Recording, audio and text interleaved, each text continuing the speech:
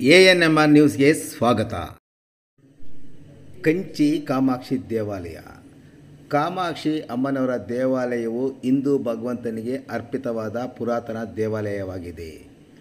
ಕಾಮಾಕ್ಷಿ ದೇವಿಯ ರೂಪಗಳಲ್ಲಿ ಒಂದಾಗಿದೆ. ಈ ದೇವಾಲಯವು ಭಾರತದ ತಮಿಳುನಾಡು ರಾಜ್ಯದ ಕಾಂಚೀಪುರಂ ನಗರದಲ್ಲಿದೆ. ದಂತಕಥೆಗಳ ಪ್ರಕಾರ ಪಲ್ಲವ ರಾಜರು ಕಾಂಚೀಪುರಂ ಅವರ ರಾಜಧಾನಿಯಾಗಿದ್ದರಿಂದ ದೇವಾಲಯವನ್ನು ನಿರ್ಮಿಸಿದರು. ಮುಖ್ಯ ದೇವತೆಯಾದ ಕಾಮಾಕ್ಷಿಯ ಚಿತ್ರವು ಭವ್ಯವಾದ ಪದ್ಮಾಸನದಲ್ಲಿ ಕುಳಿತಿದೆ. ಇದು ಸಾಂಪ್ರದಾಯಿಕ ನಿಂತಿರುವ ಭಂಗಿಯ ಬದಲಿಗೆ ಶಾಂತಿ ಮತ್ತು ಸಮೃದ್ಧಿಯನ್ನು ಸೂಚಿಸುವ ಯೋಗದ ಭಂಗಿಯಾಗಿದೆ. ದೇವಿಯು ತನ್ನ ಕೆಳಗಿನ ಎರಡು ತೋಳುಗಳಲ್ಲಿ ಕಬ್ಬಿನ ಬಿಲ್ಲು ಮತ್ತು ಹೂಗಳ ಗುಂಪನ್ನು ಇಡ್ತಿದ್ದಾಳೆ ಮತ್ತು ತನ್ನ ಮೇಲಿನ ಎರಡು ತೋಳುಗಳಲ್ಲಿ ಪಾಶ ಅಂಕುಶವನ್ನು ಹೊಂದಿದ್ದಾಳೆ. ಮಹಾನ್ ಶಿವನನ್ನು ಮದುವೆಯಾಗಲು ಕಾಮಾಕ್ಷಿ ದೇವಿಯು ಮರಳಿನಿಂದ ಮಾಡಿದ ಶಿವಲಿಂಗದ ಶಿವಲಿಂಗದೊಂದಿಗೆ ಮಾವಿನ ಮರದ ಕೆಳಗೆ ಪ್ರಾರ್ಥಿಸುತ್ತಿದ್ದಳು ಎಂದು ಇತಿಹಾಸವು ತಿಳಿಸುತ್ತದೆ.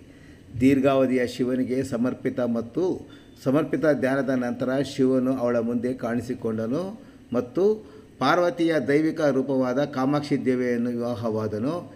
ಈ ದೇವಾಲಯವನ್ನು ಹೊರತುಪಡಿಸಿ ಕಾಂಚೀಪುರಂ ನಗರದಲ್ಲಿ ಯಾವುದೇ ಸಾಂಪ್ರದಾಯಿಕ ಪಾರ್ವತಿ ಅಥವಾ ಶಕ್ತಿ ದೇವಾಲಯಗಳಿಲ್ಲ. ಇದು ಈ ದೇವಾಲಯಕ್ಕೆ ಇನ್ನಷ್ಟು ದಂತಕಥೆಯನ್ನು ಸೇರಿಸುತ್ತದೆ. ಕಾಮಾಕ್ಷಿ ದೇವಿಗೆ ಸಮರ್ಪಿತವಾಗಿರುವ ಈ ದೇವಾಲಯವು ಐವತ್ತೊಂದು ಶಕ್ತಿಪೀಠಗಳಲ್ಲಿ ಒಂದಾಗಿದೆ ಮತ್ತು ಪದ್ಮಾಸನದ ಯೋಗ ಭಂಗಿಯಲ್ಲಿ ಕುಳಿತಿರುವ ಕಾಮಾಕ್ಷಿ ಅಮ್ಮನವನ್ನು ವಿಗ್ರಹವನ್ನು ಹೊಂದಿದೆ. ಐದು ಎಕರೆಗಳಷ್ಟು ವ್ಯಾಪಿಸಿರುವ ದೇವಾಲಯ ಚಿನ್ನದ ಲೇಪಿತ ಪ್ರವೇಶ ದ್ವಾರವು ಒಂದು ಮೋಡಿ ಮಾಡುವ ದೃಶ್ಯವನ್ನು ಮಾಡುತ್ತದೆ. ಅಷ್ಟೇ ಆಕರ್ಷಕವಾಗಿರುವ ಪುರಾತನ ದೇವತೆಗಳು ಮತ್ತು ಮಂಟಪಗಳಲ್ಲಿ ಇದು ನೆಲೆಗೊಂಡಿದೆ. ಇನ್ನು ದೇವಾಲಯದ ಆವರಣವನ್ನು ಪ್ರವೇಶಿಸಲು ಯಾವುದೇ ಪ್ರವೇಶ ಶುಲ್ಕವಿಲ್ಲ. ದೇವಾಲಯದ ಒಳಭಾಗವನ್ನು ಹೊರತುಪಡಿಸಿ ಛಾಯಾಗ್ರಹಣವನ್ನು ಅನುಮತಿಸಲಾಗಿದೆ. ದೇವಾಲಯವು ಬೆಳಗ್ಗೆ ಐದು ಮೂವತ್ತರಿಂದ ಮಧ್ಯಾಹ್ನ ಹನ್ನೆರಡು ಗಂಟೆವರೆಗೂ ಮತ್ತು ಮಧ್ಯಾಹ್ನ ಮೂರು ಮೂವತ್ತರಿಂದ ರಾತ್ರಿ ಎಂಟು ಮೂವತ್ತರೆಗೂ ತೆರೆದಿರುತ್ತದೆ.